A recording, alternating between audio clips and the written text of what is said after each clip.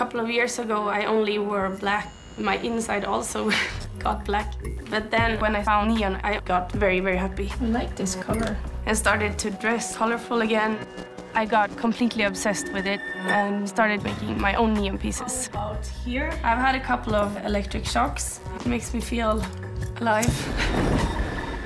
Neon lights really fascinates me because they are more than just a still piece of art. They have this gas dancing inside the tubes. When you put neon in a very dark environment, all of a sudden it's beautiful.